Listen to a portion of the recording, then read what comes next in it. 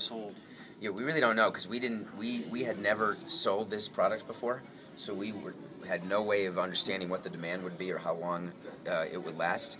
But again, the way this always comes up is we talk to ourselves that when you see a great event take place, four years down the line or 20 years down the line, there'll be a half a million people who will claim they were here. So now we at least have a few extra of them able to at least show a ticket to claim it.